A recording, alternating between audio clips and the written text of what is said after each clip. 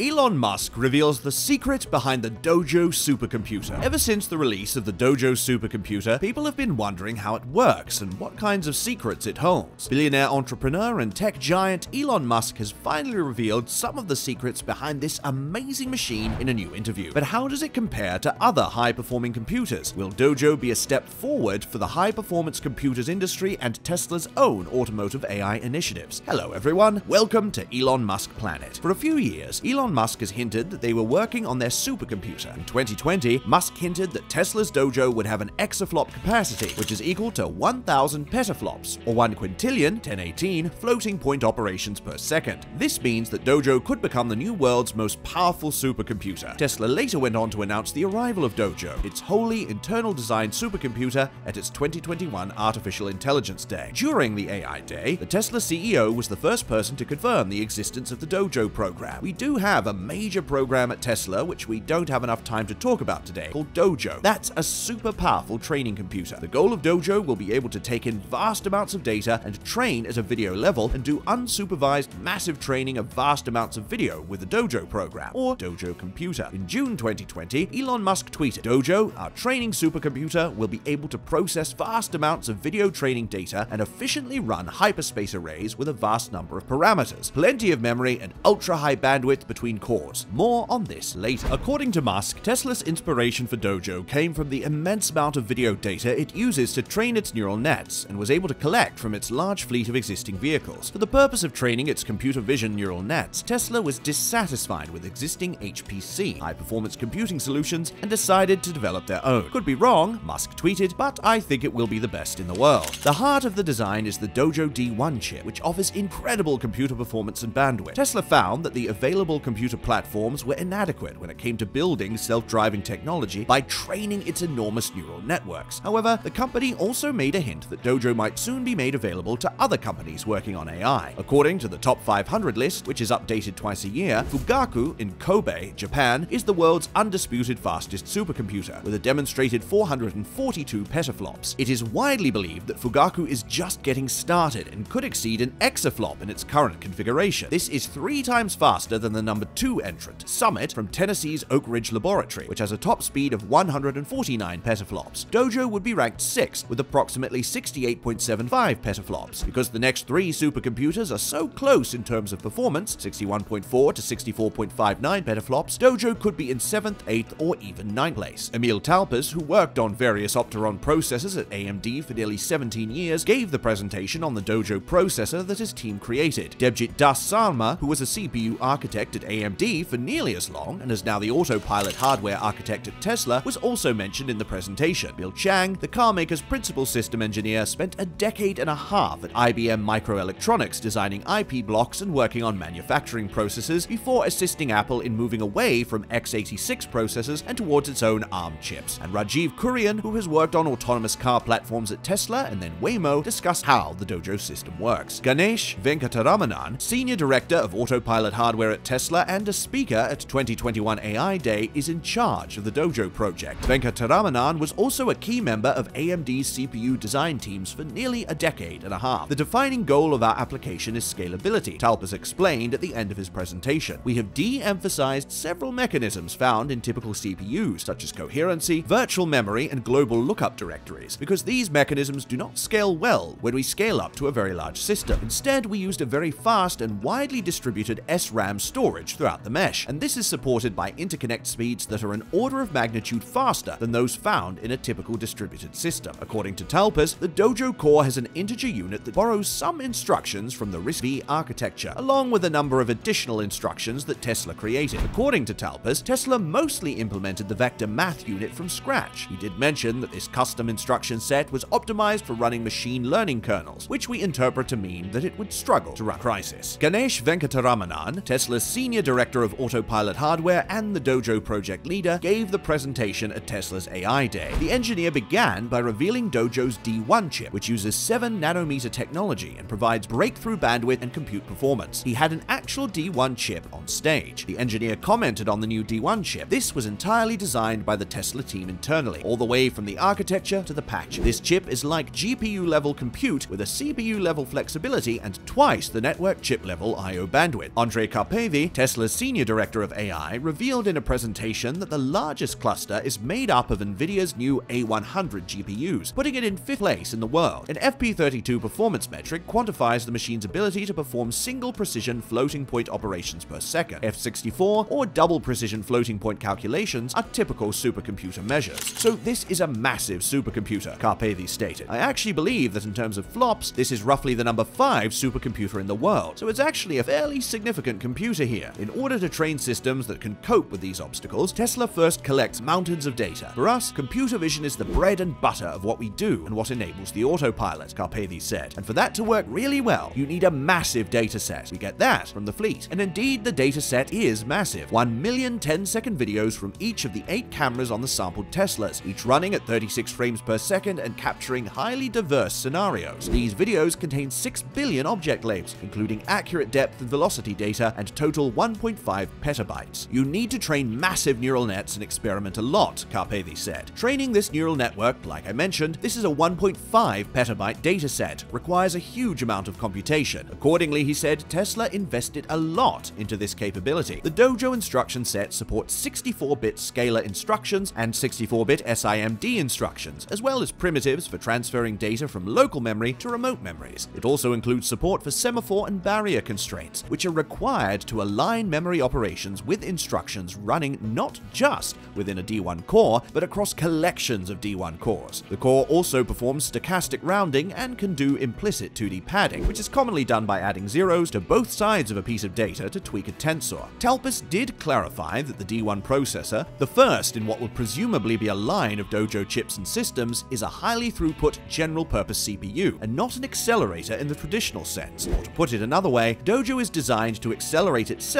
rather than relying on an external device. Each Dojo node has a single core and is a full-fledged computer with a CPU, dedicated memory, and I.O. interfaces. This is an important distinction because each core can do its own thing and is not reliant on shared caches, register files, or anything else. The D1 is a superscalar core, which means it supports instruction-level parallelism within its core, as do most modern chips, and it even has a multi-threaded design to drive more instructions through that core. However, multi-threading is about doing more work per clock rather than having isolated threads that can run separate instances of Linux as a virtual machine. So the Dojo implementation of simultaneous multi-threading, SMT, lacks virtual memory, has limited protection mechanisms, and the Dojo software stack and applications manage the parceling out of chip resources. The D1 core is a 64-bit processor with a fetch window of 32B that can hold up to 8 instructions and an 8-wide decoder that can handle 2 threads per cycle. This front end connects to a 4-wide scalar scheduler with 4-way SMT, 2 integer units, 2 address units, and a register file for each thread. There is also a two-sided vector scheduler with 4-way SMT that feeds into a 64B wide SIMD unit, or 4 8x8x4 matrix multiplication units. Each D1 core has a 1.25 megabyte SRAM that is its main memory. It is not a cache, and if anything, the DDR4 memory that hangs off of the larger Dojo network,